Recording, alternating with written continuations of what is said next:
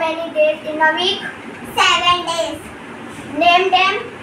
M O N D A Y. Monday, T U E S D A Y. Tuesday, W E D N E S D Y. Wednesday, T H R U T H U R S D A Y. Thursday, F R I D A Y. Friday, S A T U R D A Y. Saturday, Saturday.